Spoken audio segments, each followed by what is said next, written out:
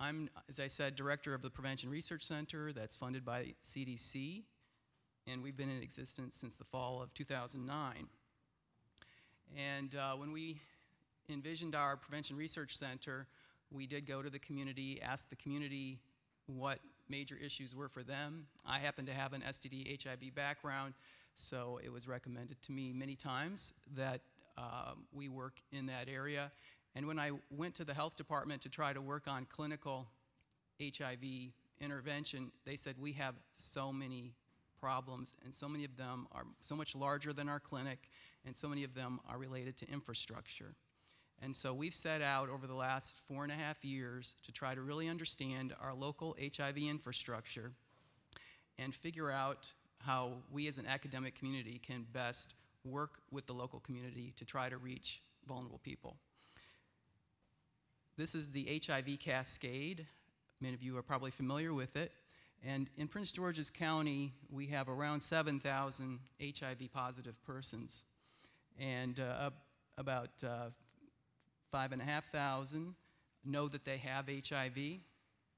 And about 4,000 are linked to HIV care. About 2,000 are retained in care, uh, which uh, leads to about 1,500 who are successfully on ART or on ART, perhaps not successfully, and uh, the successful uh, viral suppression is believed to be uh, in around 1,000. And we now know from the uh, President's National HIV Plan that uh, we really do want to be focusing on having people know that they're HIV positive and having them get into care. And the biggest reason for that is we now know that if we can virally suppress individuals, not only will they not get full blown AIDS and uh, become symptomatic, but they're much less likely to transmit the disease. So, viral suppression is the goal. And clearly, we have a very big issue around this in Prince George's. When we look at the HIV population just in Prince George's, uh, we see that while heterosexual HIV climbed uh, for a while, uh, we are again uh, an uh, epidemic that's led by men who have sex with men in Prince George's. This slide really shows the infrastructure problem that we're facing. We have a major epidemic in Washington, D.C. We also have a major epidemic in Baltimore. And those of us uh, then in this Prince George's region, focusing on this region, are understanding the effects of that epidemic and its reaching out into the suburbs. It just so happens that that jurisdictional border between the district and Prince George's is a very big barrier in many ways to coordinated STD HIV prevention. Uh, we look at this slide, we see that the health disparities along the national capital border just in Maryland are huge. HIV incidence in Prince George's is much higher than HIV incidence in Montgomery, as is AIDS incidence, as are HIV deaths. And when we look at the Prince George's numbers, we realize that they're closer and affected by the District of Columbia, which is our epicenter. When we look at HIV care, HIV care is, is very related to primary care, and the primary care infrastructure in Prince George's turns out to be very poor, and we have a very low rate of physicians per 100,000 persons relative to Montgomery and relative to the district. So this border that we're looking at ends up being an extremely important phenomenon for us if we're trying to reach these vulnerable populations and get them into care. This issue of cross state or cross border coordination in terms of HIV prevention and treatment is not just an issue faced by us here in Prince George's when we're dealing with the Washington, D.C. Uh, metropolitan area HIV epidemic, which spans the district, Maryland, Virginia, and even into West Virginia, but Chicago, New York, Philadelphia, Boston, Charlotte, Memphis, and other epidemics also have this cross jurisdictional border issue that they need to contend with. We've been doing a lot of exploration about how this border does operate as a barrier to coordinated care. And we've started our project by talking to stakeholders in focus groups and interviews. And those stakeholders have included basically every sector that would be uh, impacted by the disease. And we learned that the stakeholders believe there are many benefits to cross-border collaboration, and we're focusing here on Prince George's County and the district. Uh, it enables organizations to reach a larger population, reach special populations, allow for synergistic use of funding, increase client access to care, decrease fragmentation of care, increase provider and client confidence in healthcare in the healthcare system, and it allows organizations to share expertise. It turns out that the populations in those two areas infected by HIV might be quite different. And so the expertise in Prince George's around HIV can be very different from the district. And so the district organizations may have a lot to learn from Prince George's organizations and vice versa. Barriers to cross-border collaboration include competition for funds, limiting funding policies, lack of time and energy, lack of leadership, lack of follow-through and commitment, mistrust by clients, and poor prior experiences. So we did a little study. We said, uh, what would happen if we had a Prince George's County resident who went into the district to try to receive care? And the reason why we're asking this question is we have such a deficit in the care infrastructure here in Prince George's. And the closest place for our population, our residents to go, would be the district, and it turns out the district has a highly developed HIV system of care. So when we, when we called 15 different DC organizations and asked them whether, as a Prince George's resident, we could access medical, mental, dental care, what we learned is that people with no insurance may be able to get medical care. Um, five out of the 15 organizations would provide the medical care. Five out of the 15 organizations would provide the care to Ryan White eligible patients. Five out of the 15 would provide care to Medicare Medicaid patients. And four would provide care to private patients, let alone dental care. So the clients in basically none of the organizations, except one, if they had private insurance, would they be able to access dental care. So we have this huge jurisdictional border issue. We compare the organizations on each side of the border. We see that the district organizations tend to have larger budgets, not surprisingly. Uh, those organizations have expertise in education, training, and counseling somewhat more often than Prince George's County organizations. They provide health and medical services more often. Uh, the Prince George's County organizations, many of them are uh, community-based organizations, nonprofits that have very small budgets, that are floundering, that don't have the resources that they would need. The number of collaborations across border, again, is small generally. And so at the Prevention Research Center, we have many different initiatives that we're undertaking. We have a STI coalition that we support. We're facilitating infrastructure in many different ways. We're working with Greater Baden, with the hospital, with the health department, and as much as possible with primary care physicians. We are part of regional HIV conferences. We have funded seed money projects. We're assessing patient-centered engagement in different health services. We're evaluating cross-border intervention pilots, a uh, number of different projects. And the project that I will just highlight uh, out of all these is we're trying to expand the DC HIV outreach model. And that model is the Institute for Public Health Innovation model, which uh, started in the district, was expanded into Northern Virginia, and then we've worked with IPHI to expand that model into Prince George's. And that model is a community health worker outreach model, and we're trying to see whether or not adding a community up here, community health worker to the medical case management and medical team is more likely to find these out of care patients, link them into care, and retain them in care. So again, uh, many barriers to trying to reach these highly vulnerable people, and we have two other speakers that I think know quite a bit about that. So, could we have Derek Spencer?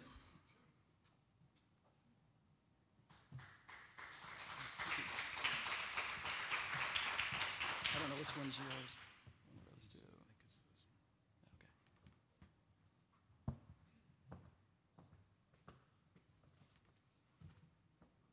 How do I enlarge this somewhere?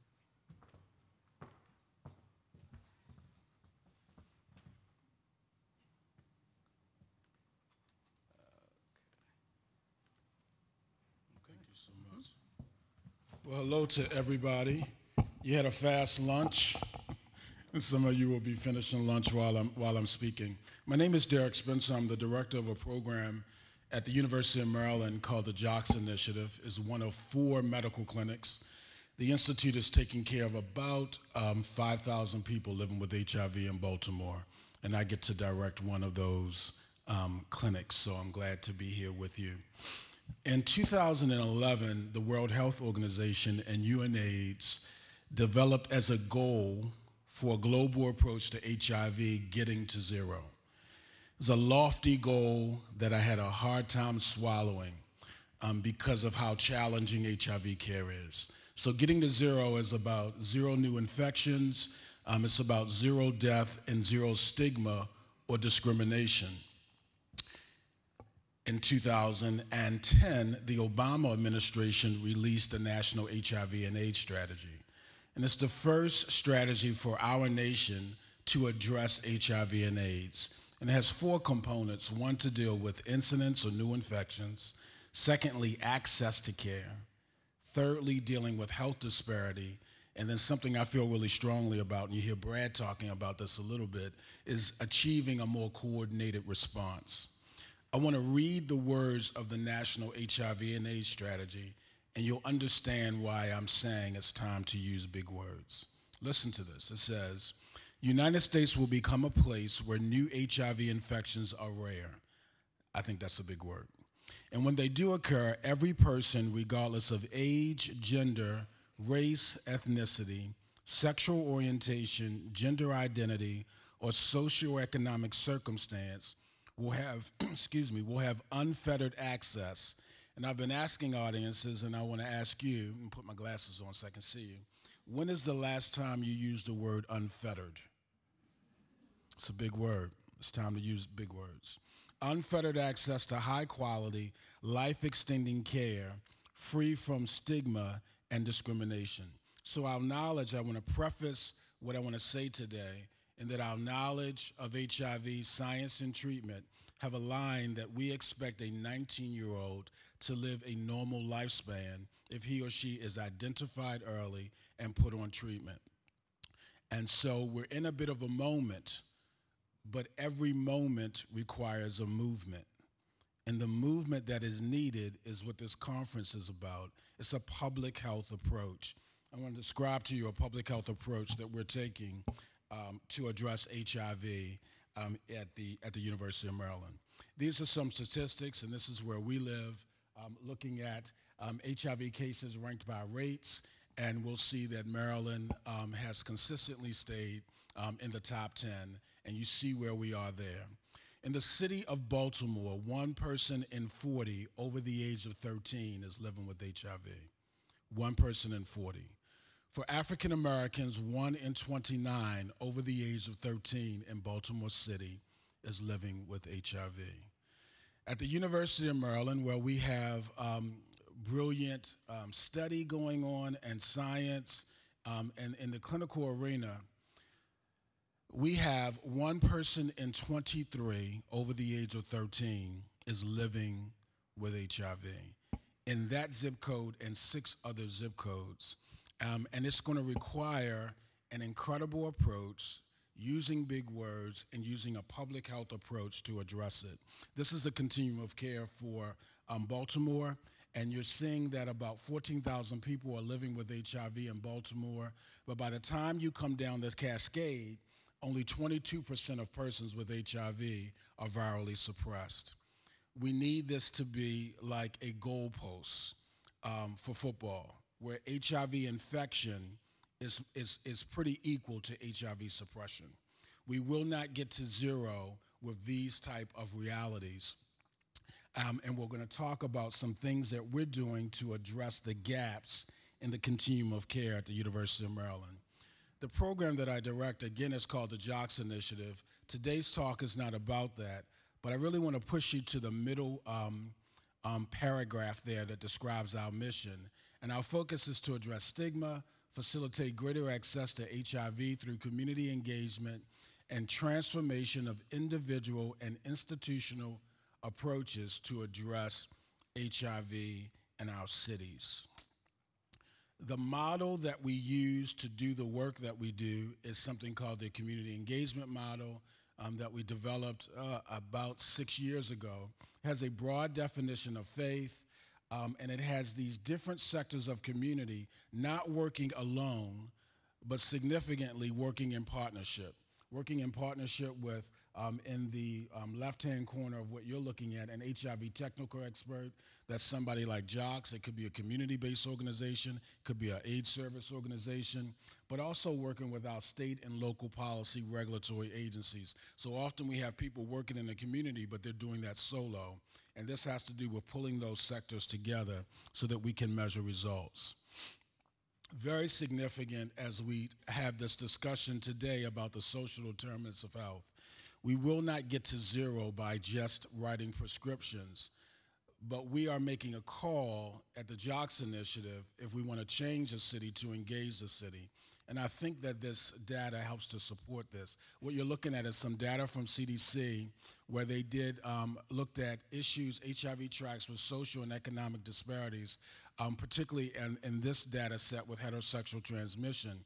And they looked in urban areas and they looked at certain kind of social determinants of health and found the following, that if you had less than a 12th grade education, there was a twofold higher prevalence of HIV associated with not having a high school education. The same thing if you were unemployed versus employed. If you were living below the poverty level, higher issues of prevalence of HIV associated with poverty, and then issues with homeless versus not homeless. and to this group, that makes a lot of sense. But what we're trying to do through the work we're doing at the Jacques Initiative is to uh, help the community understand what is your something. Calling for a public health approach. If you are a high school teacher or you're really interested in helping kids get out of school, that is an HIV prevention program if you're really, really interested in housing inequity and making sure there's fair and equal housing, that is an HIV prevention program. So we don't need everybody to be prescribers, but we need our entire city to be engaged. And we're, we're opening our arms to show people that there's something with a public health approach um, can make a difference. We started a program called Preparing the Future, and the purpose of the program was to engage emerging professionals in the crisis of HIV and AIDS at the University of Maryland's founding campus. So we have on our campus um, very rich campus with School of Pharmacy, School of Dentistry, School of Law, Social Work, Medicine, and Nursing. So we started a program um, initially with the School of Nursing and School of Medicine. With the School of Medicine, we did Introduction to Clinical Medicine. First year medical students got trained in their um, curriculum to address HIV. They were offered service learning opportunities where they also got trained by the state to do HIV testing, and they tested in the community in pharmacies, they tested in our emergency department. Um, nursing did the same thing, and it was the nurse's responsibility to engage HIV testing into their um, curriculum. And I want to read a testimonial from a guy who really um, blew us away in our first year. Um, his name is Matt Zietler, and he said, In my preparing a future experience, I was exposed to demographics and a culture very different from my own. As a native of a rural town in southern Maryland, I broadened my awareness of diversity by working directly with the people of Baltimore. While I was in the emergency department offering HIV testing and linkage to care, I came to realize my own personal bias and prejudice. As future physicians, we need to be more self reflective we need to be mindful of our own prejudice and bias and become more culturally aware. I will apply these important lessons to my future practice. will you? We're trying to prepare the future that the 2006 recommendations for HIV testing from the age of 13 to 64 would be realized. And in one of the previous um, presentations um, on the ACA about implementing science that has already been proven so that we can take and move this forward and begin to implement what we know about HIV testing. Um, we have engaged all six schools, so we are now in six schools addressing curriculum, doing interprofessional education, and we see the University of Maryland's campus as an avenue to address the national HIV and AIDS strategy. Not just medicine and nursing, but the entire campus. When we look at the gaps in the continuum of care, many of them um, um, need expertise as it relates to social determinants of health. So we are getting our lawyers and our dentists doing routine testing, getting our social workers involved, helping them to understand they're something to make a difference um, in this crisis. You're going to show you a couple, a little bit of data from 2012 through 2013 with 129 students who did a pre and post test where we evaluated their knowledge, their attitudes, and their beliefs um, prior to us the intervention and then post the intervention. I think I've just um, brought three of the questions. Um, I'm able to discuss HIV in a culturally competent manner with my patients and my clients. Prior to the intervention, 43% said that. By the end of the intervention, 94% of them said yes. Question two I'm comfortable talking about sensitive topics, including sex, with my patients and my clients. Um, 67% said in the beginning, I'm comfortable. Um, by the end of the intervention, 92% um, brought that in. Um, I think that it's too complicated to offer HIV tests as a routine part of medical care. And this is really interesting to me with this. 85% said, no, I, I'm fine. At the end of the intervention, we did have more, but I do think we're in a moment where this generation is less encumbered with issues with sex and sexuality. And we have an opportunity in our large universities as we integrate issues like HIV into the curriculum that we can really make an incredible difference. You should not graduate from the University of Maryland's founding campus as a dentist, as a lawyer, as a doctor, as a social worker, um, as a nurse, um, in, a in a campus zip code where one in 29 African Americans have HIV, one in 40 people have HIV. As you do clinicals, you're going to encounter people who are infected or affected by HIV, and we want to make sure that our students are prepared um, to do that and make a difference so we can get our city to zero because it's time to use big words. We also wanted to move from just the academic into the clinical, and we wanted to make sure that our students, not just from the classroom and the community, but when they went into a hospital experience or a clinical experience, um, they got a chance to engage HIV. And I think this is next to my last slide. We did, we started a pilot program. If you got admitted into um, the medicine service at the University of Maryland Hospital, that we trained um, multiple professionals, I think over 400 professionals, I don't know, um, uh, multidisciplinary professionals to offer HIV testing. Residents, nurses, nursing assistants, phlebotomy, we had to work with billing, and we had to work with the chief medical officer, chief nursing officer. Prior to our intervention in March, only 3% of persons were tested for HIV at the University of Maryland if you got admitted to the medicine service. It was launched in March 2013, and we began to measure offer rate and acceptance rate. And you'll see for um, basically from March to August, our offer rate was somewhere about 45% to 51%. Lots of challenge when you do a project like this in an academic setting um, because we've got people rotating and they're going on and off service. So staff were working hard, but, but the um, offer rate was only about 50% in general, you see if we offer the test, people will accept it. What we did in um, it is September is to begin to engage the nurses, where the nurses work with the medical providers. And now that offer rate at its lowest has been about um, 80%. We've had some months where that's been higher than 95%, where you get offered the test. Um, let's show you a little bit about the people that we're finding. Um, We've found 40% of our positives have been men, 60% female. That's a little different of the makeup. It's a little flip of what we see in Baltimore City because it's typically the flip 60% men and 40% women. Um, you'll see the mix where, as far as African American. Um, can I take you down to CD4 at time of diagnosis? So 14 out of 15 have had CD4 lab data and um, or, or T cell count, and we are finding that the majority of these patients are AIDS defined.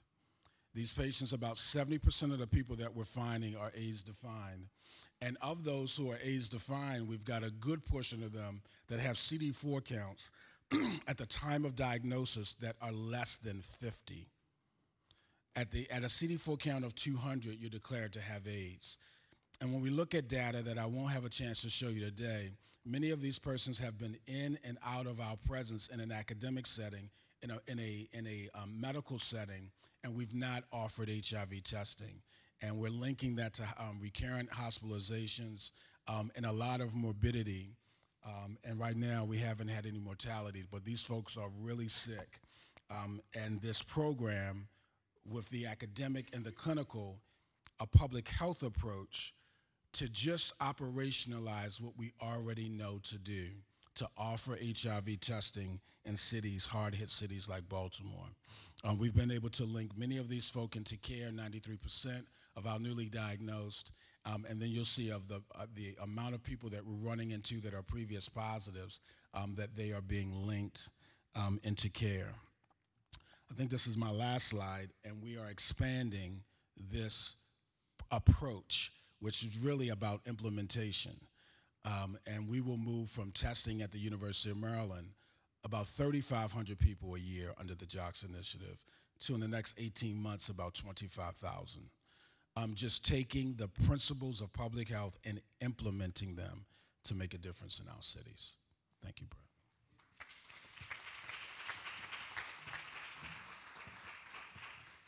I know Baltimore has its own epidemic, but um, if we can really start talking about how we can expand the Baltimore medical, clinical expertise into Prince George's.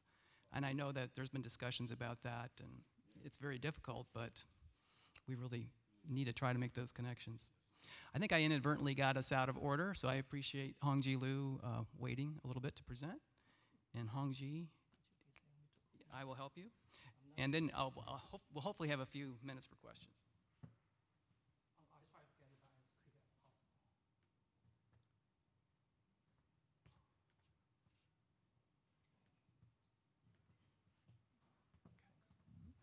Uh, previous two talk, two uh, speakers talk about HIV epidemic among um, risky population or hidden population.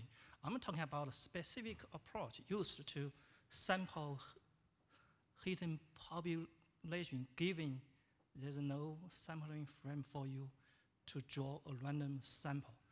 Um, using um, social network, something wrong here?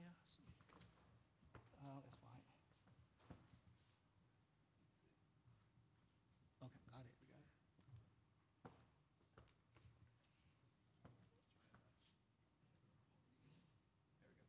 Um, this is my um, uh, research area. My research area focuses on using social network to study the diffusion of social network norms, controls, and behavior, and also to study the transmission of HIV among um, hidden population. Um, this is uh, an example of egocentric social network. So what we get is an ego. The ego's peers in social network we call alters. So this guy has five peers, five alters. From this ego, we get all of the information about his or her alters. Uh, give you a concrete example. This is social network of my research collaboration. Uh, you can see that this graph gives you a lot of information, even though this is a single graph. This tells you that I have at least three class, clusters of research intervention. For example, in this cluster, all of my collaborators are in China. In these clusters, all of my collaborators in United States. In this cluster, all of my collaborators are within our school, the University of Maryland.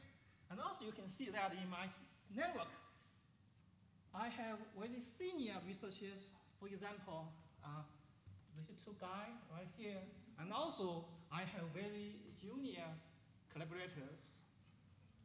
Um, this all tell us that I have some very strong tie, strong collaboration tie, and some very weak collaboration tie. For example, Dr. He, because he is in, in my department, we frequently uh, change expertise in research or change uh, uh, research experience. So my tie with Dr. He is very strong. However, I have collaborated with this research who is giant in social behavioral science. Even though I met him about 12, one or two times, I got a lot of influence, positive influence from him. So in social network, we always say it is weak tie who make the final decision. So this is an example of egocentric social network. Um, in my study, we use a model called social ecological or social network model to study the diffusion of risk behaviors. We use the same model for more than five projects and make more than two million grants. We will continue to use this model to make more grants. Testing. Okay, thanks. Uh, I just come back from China where we did a social network and risk and sex risk for HIV STDs among older female sex workers in China. Now China faces a new phase of epidemic. That is, the epidemic starts spreading among older population and older female sex workers are the risk population who either transmit virus to other old clients or acquired virus from others. Um, the same lady provide sex to her old clients. Every afternoon, she provide sex to more than 10 clients in the same area. You can imagine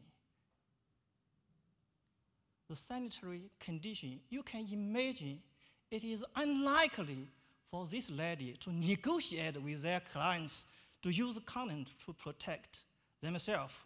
My study is using social network approach to see why some of the old female sex workers still use condoms to protect themselves given situation like that versus others who do not use condoms. Now, you may ask question, old female sex, workers are stigmatized, they are hidden. How can I recruit them into my study sample?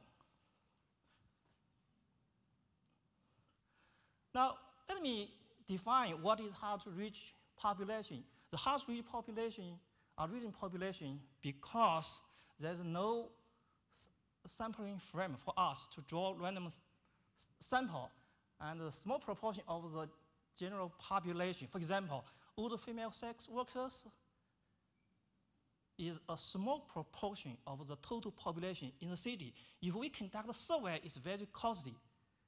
In some cases, they're designed to remain anonymous. This is especially true for older female sex workers and for drug users. I provide several, several examples for the hidden populations. Now, traditionally, we use a very famous approach called snow sampling approach, or sometimes you call chain referral sampling. However, Using this approach, you get a very biased sample because what you get is a sample that oversampled pop, popular or cooperative subjects and non-independence of observers, meaning people who likely to recruit someone who look like themselves. Dependence of choice of seeds. Say if you select seeds, seeds are male, in your total sample, the majority of subjects will be male. So because of this, it is a challenge for us to, to do research among hidden population. Simply, we could not get a scientific sound sample using the traditional approach. And one popular approach recently developed called respondent-driven sampling try to reduce the problem caused by snowball sampling. Um, the fundamental difference between these two approaches is that first, in RDS, we select seeds, initial sample. We ask seeds re- re- to recruit their subjects. Theoretically, after you have a large number of recruit waves, for example, after five recruit waves, the bias introduced by your seeds could be largely reduced. And also, the second approach, which is missing in respondent in um, snowball sampling, is that we use selection probability to get a probability sample so that a sample could be used to represent your base population or your study population. And this is the difference. Okay, now here is the illustration of RDS. Say this is one seed, I give a seed three coupons, and the seed recruit three subjects into our study.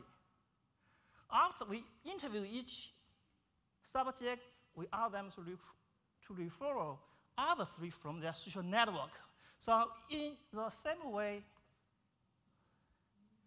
we get the sample like this. After five web, you can see the RDS sample concentrate or pen, uh, uh, penetrate in your study population in every corner. Consequently, this sample can be considered as representative sample. Now here is one example from my own study, and this is seeds, and this seeds is very productive, reduce a lot of subjects. Say if this is your base population, and what you get cover every corner of your population. Consequently, this is representative.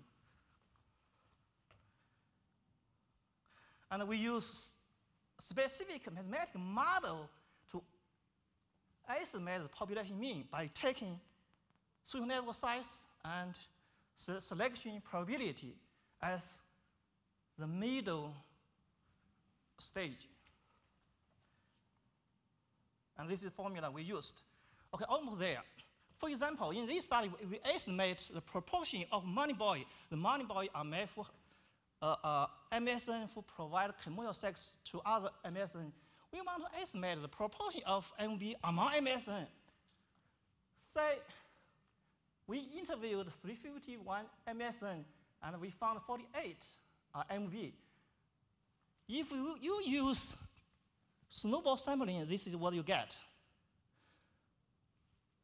In RDS, we get RDS adjusted population, and this is the true proportion, unbiased proportion. You see the difference from here to here?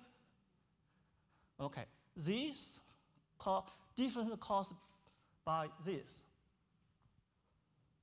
The size of social network are not equal among MSM and uh, among MB. Okay, uh, for more, because RDS involve a lot of technical issues, for more information, you can look at uh, my recent papers. Thank you.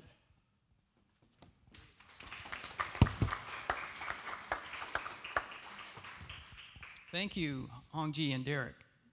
Uh, great presentations, and it's great to have this opportunity to uh, meet you and talk with you about your work. We have about five minutes. We don't actually have five minutes, but I'm going to make five minutes. Um, are there any questions, or would anybody like to make a comment? Yeah. Um, I guess when we talk about the topic of HIV/AIDS, it's pretty much a global disease, and even when we look at um, the disproportionate affection of HIV/AIDS in sub-Saharan Africa, there's a lot of similarities when you even look at the data with Baltimore in terms of uh, continuum of care and even the falling off of the cascade. And I know with a lot of countries in different areas of sub-Saharan Africa, one of the biggest impediments to staying in care is access to care. So I guess my question is for uh, Baltimore. I know there's such issues as such as stigma and education. What do we see as kind of the biggest impediment for people, you know, showing up early to get treatment or even staying in care? Yeah, so um, as it relates to this issue of access to care, um, it's one of the biggest issues that we see people fall off for the continuum. Um, so we only see about 63% of people in Baltimore who know their status actually being linked into care. Some of that has to do with social determinants of health, it has to do with substance abuse, has to do with homelessness, it has to do with mental health. Some of it has to do with our care delivery models, don't necessarily facilitate the linkage of care that's necessary. We have adapted a model based on today so that if you test positive for HIV, we engage you in care the same day you test positive, um, as opposed to giving you an appointment for next week. Your best opportunity is the opportunity in front of you, and if the patient's in front of you now, that's when you engage them in care. Um, and so we're not the only person doing that. DC has the red carpet program, um, just, you know, getting people linked into care immediately. So we set up a multidisciplinary team in a clinic called Connected Care, run by a non-medical case manager, where if somebody comes into care, they're gonna get their initial blood work, they're gonna meet somebody living with HIV, they get access to a medical provider, albeit just for five minutes. That initial encounter makes an incredible difference as far as linkage to care rates. And some of our issues with fragmentation of care cause the gaps. So when you have a person and you give an appointment for 10 days later, there's so much chaos in the community, all kinds of things happen in that 10 days. So your best opportunity